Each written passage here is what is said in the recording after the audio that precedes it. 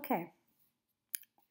To check your grammar in uh, Turnitin.com, once you have uploaded your essay to Turnitin.com, uh, you submit your essay.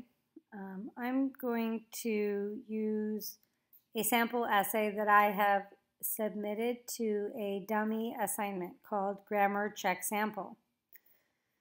So as soon as you submit the essay, allow it to um, uh, sit in Turnitin.com for about five minutes because it takes a few minutes for the reports to generate.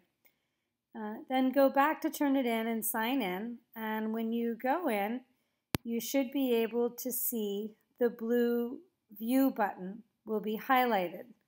So go to the grammar, or for you guys, it'll be the TTC, uh, the things they carried, grammar check.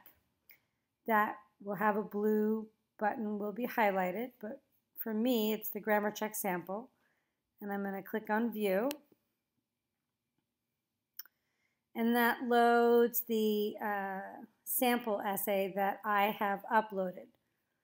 Uh, Susie student, and you can see that I have uh, set it up for MLA.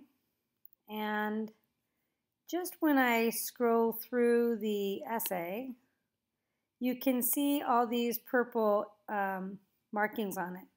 And these are the grammar mistakes that have been made in the essay. You'll see up here there is this blue tab some of you may need to click on the blue tab to get the GradeMark essay, uh, errors. Once you put your cursor over one of the purple markings, it will tell you what the grammar error is. So um, here it says they were forced to face gruesome battles where they saw intestines of horses or heads blown off other soldiers. So the grammar error in this particular um, mistake, it says that you may need to use an article before this word. Consider using the article the.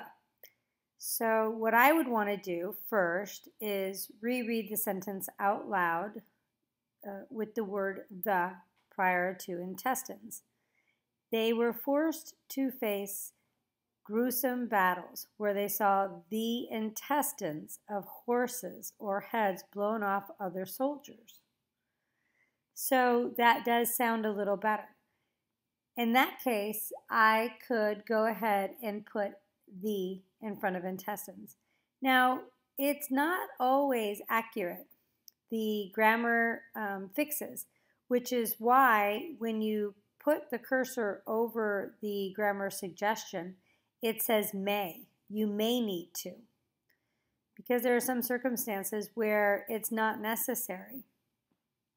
For example, in this particular sentence, it says, The men who go into war want to fight for their country and have courage to do so. Again, uh, Turnitin.com is saying that I might want to put the before war here. So it's saying men, the men who go into the war want to fight for their country. But the sentence reads quite nicely without the article prior to war. So it's not necessary for me to put the article the before war.